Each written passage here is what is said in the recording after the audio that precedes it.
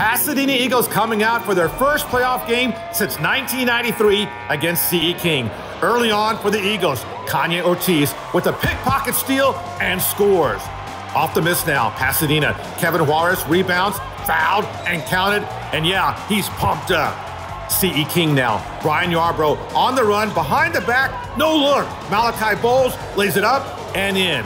Final seconds of the half. Pasadena. Ortiz races down court. Great pass to Juarez, who beats the buzzer for the bucket. And the Eagles are fired up. They go up by one at the break.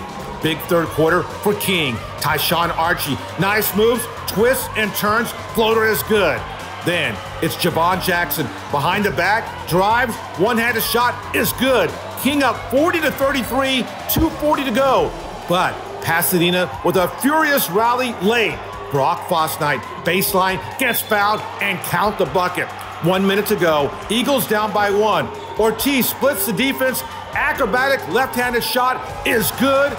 And Pasadena will celebrate a thrilling 47 to 43 victory. Juarez had 14 points, Ortiz with 12. What a moment for the Eagles, their first playoff win in 28 years.